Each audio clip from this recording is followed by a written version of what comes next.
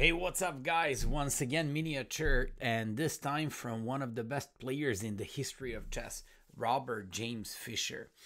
Uh, what I'm really impressed uh, with uh, is his style of not only his style of play, not only his games, results, uh, the way that he was actually beating up his opponents almost with zero, but actually when I nowadays analyze his games through the engines, all his moves are usually in most of the times i don't want to say like 100% but most of the times top moves crazy strong chess player and here i want to uh, introduce you one of the famous miniatures between Fischer and Rubinetti.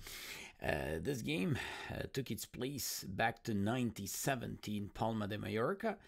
And uh, for example, thanks to the following game, I actually learned so many things about Sicilian. So hopefully uh, the following video and the following game is going to help you in terms of getting better understanding of uh, Najdorf games, Scheveningen games, and these type of uh, similar pawn structures in the Sicilian type of the games. So let's get started. Let's begin this game. I'm not going to take much of your time. Uh, Fischer played e4. Rubinetti responded with Sicilian c5. Fischer played open Sicilian with the knight f3. And this guy went for the most popular d6 move. Fischer played d4, of course. What else? Uh, when you play the open Sicilian, you just want to fight uh, strong for the center. He opens up the game and opens up both his bishops. This is considered to be the most ambitious continuation by white against Sicilian. After c takes, knight takes, knight f6, knight c3, and this guy went for nowadays a little bit overpassed variation. It's called Scheveningen. Um, it's kind of interesting. For example, Kasparov made so many good results in his youthhood with this opening, and it's a very, very flexible and always difficult for white players. For example, I remember when I was younger, when somebody played Scheveningen against me, I hated that opening so much. And simply all those transpositions, all those, you know, like different kinds of variations, small subtleties, uh, forced me to somehow hate this opening and always had uh, lots of troubles against it. Anyways, Fischer was famous that he always against Najdorf played Sozin line against Najdorf, and against this e6 he went for bishop c4. This is at the same time uh, possibly black goes for a6 transposition into the Sozin variation, but it in most of these variations it can transpose into the Velimirovich attack, famous Velimirovich attack, where you play bishop on e3, queen on e2, and long castle. Here that wasn't the case because black went for a6 and all of a sudden we have Sozin variation against Najdorf defense, considered to be very popular used to be very popular, not nowadays anymore. And after bishop to b3, preventively moving this bishop away from some b5, b5 played castle. And there we go. For example, the following move made by Rubinetti uh, is considered to be, even from this game uh, onwards, was considered to be uh, kind of, you know, I'd say suspicious for black because bishop b7 all of a sudden weakens control of uh, and the defense of the e6 pawn. And there are so many bishop takes e6 or knight takes e6 sacrifices uh, for the rest of the game. So after like bishop e7 of course the, the better idea was bishop e7 keeping the bishop on c8 keeping control of the e6 pawn and at the same time preparing himself for the make castle. Uh, rubinetti played bishop b7 he left control of the e6 pawn, but at the same time he shows some uh, hyper ambition to take that pawn on e4, and uh, we just have to uh, notice two things. First of all, Fischer played rook e1, and all of a sudden, and from this point onwards, uh, he, uh, by placing that rook on e1 and defending the pawn on e4, he's not only defending that, but threatening lots of nasty things about the e6 pawn. And on top of all that, he's ready to sometimes place some of his pieces, whether it's knight on d5 or in some circumstances, even crazy bishop d5.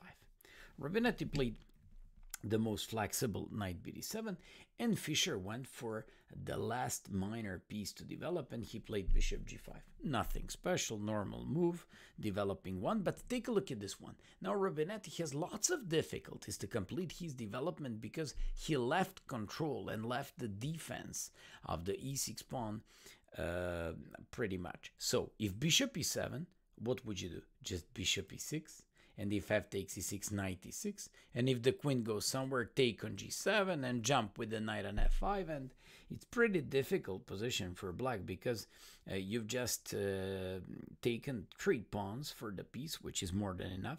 Uh, second thing the pawn on d6 is hanging and finally king on f7 is kind of broken. I mean there is no castle for this king. Everything seems to be terrible for black. So after like h6 uh, Fischer moved his bishop back on h4 and knight c5. And there we go. One of the most uh, famous sacrifices in the history of Sicilian opening and uh, these uh, Sicilian games in miniatures like that. So Fischer uh, here, for example, nowadays, everybody would consider, hey, can I play some break with e5? Can I play a4 breaking on the queen side that pawn structure?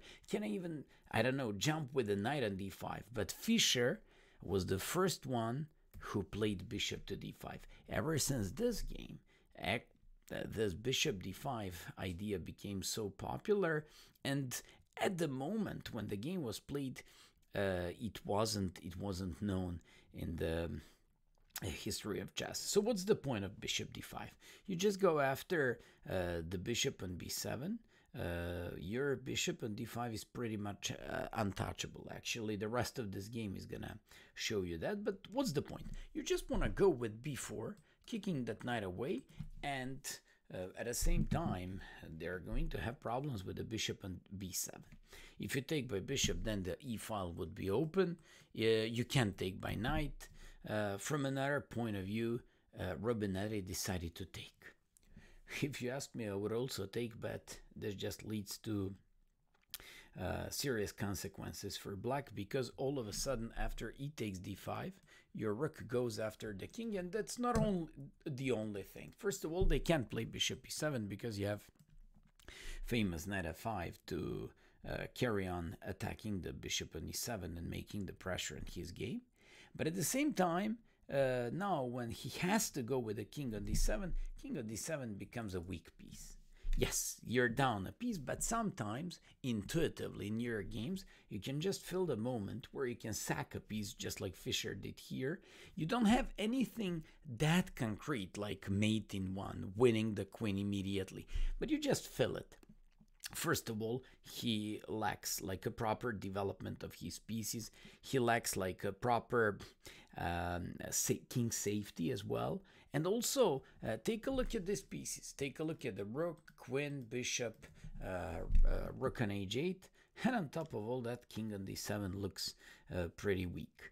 Uh, that gives you, for example, not only here, but in this position, obviously, what is the one who's in the driver's seat, but that actually gives you uh, like lots of chances in the future when you play games like this to sack a piece and simply to say, okay, I have like enough of compensation, I have enough of initiative, so let me just sack the piece and uh, for the rest of this game to play an initiative. Not, do you think that he was, he saw all these things? No, no. He just realized, okay, um, he's behind in development, his pieces are uh, kind of uh, disharmonized, so let me just go after his king. And it paid off. Paid off in the next 10 moves. First of all, he played before a strong move kicking this knight away. Knight has nowhere to go but on a4 if he doesn't want to give it for free. Fischer captures and does a very nice move, solidifying his pawn structure, threatening to take on a4. On top of all that, by playing c4 and having these pawns on c4 and d5, take a look at the bishop on b7, it, it just became weak. King on d7, uh, you know, he's in the air, so you're uh, actually, he's on the wind, I'd say and it's pretty windy around this king. And at the same time, take a look at the bishop on h4 that pins the knight on f6. They have lots of problems and troubles in this position. And that's why um, after c4, Fischer's opponent, Rubinetti, played king c8. Finally, I can braid away, my king is safe, but okay, buddy. I'm taking on a4, and what do I have? I have two pawns for the piece. You have weak king, and you absolutely suck in your development, buddy. So after queen a4, black played queen d7.